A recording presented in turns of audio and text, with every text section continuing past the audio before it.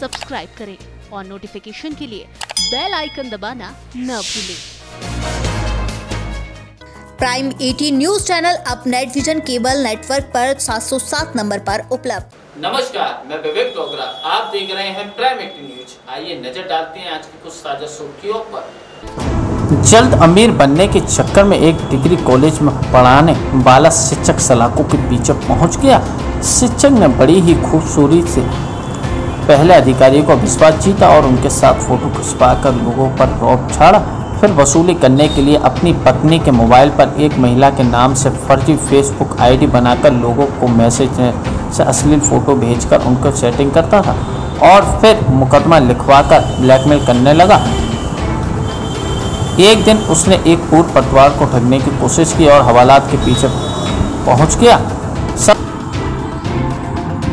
सदर कोतवाली के अंदर पुलिस हिरासत में हरी सेठ खड़ा ये शख्स कन्नौज का नटवर लाल शिक्षक उमेश चंद द्विवेदी है। एक नटवर लाल शिक्षक खुद को पत्रकार भी कहता था और अपनी मीठी मीठी बातों से पुलिस अधिकारियों को फंसाकर पुलिस विभाग द्वारा बनाई गई नई किरण टीम का सदस्य बन बैठा। नई किरण टीम का सदस्य बनने के बाद वह ज़िले के अधिकारियों के साथ बैठकर फ़ोटो खिंचवाता था और फिर अधिकारियों के साथ वाली फ़ोटो को सोशल मीडिया पर वायरल कर अपनी दिखात करता था। नटवर लाल शिक्षक उमेश चंद द्विवेदी सरकारी, गैर सरकारी मंचों पर संचालन भी करता था। बस इसी बात का फ़ायदा उठाकर उसने लोगों को ब्लैकमेलिंग व ठगने का धंधा शुरू कर दिया। साथ ही शिक्षक उमेश चंद ने अपनी पत्नी के नंबर से एक संबोधिनी डी के नाम से फर्जी फेसबुक आईडी बनाकर और अपनी पीड़ित पूर्व पत्रकार राजीव अगस्ती के मोबाइल पर मैसेंजर से एक मैसेज भेजा जिसका जवाब पीड़ित पत्रकार ने दिया।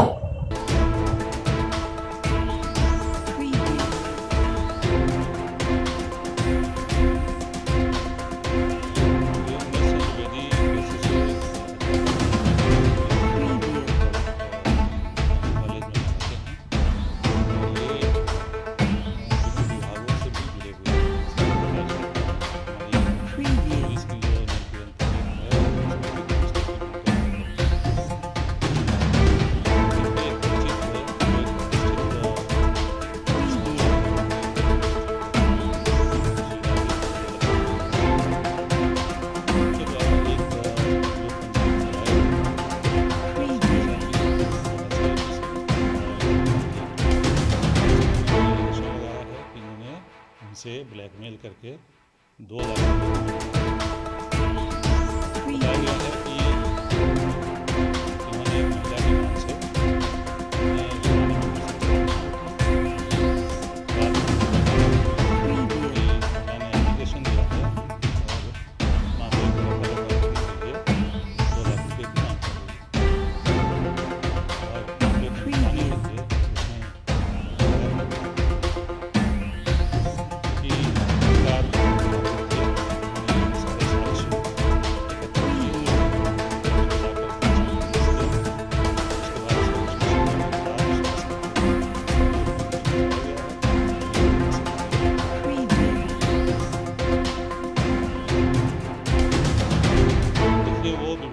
संचालन करते थे अच्छे वक्ता हैं लेकिन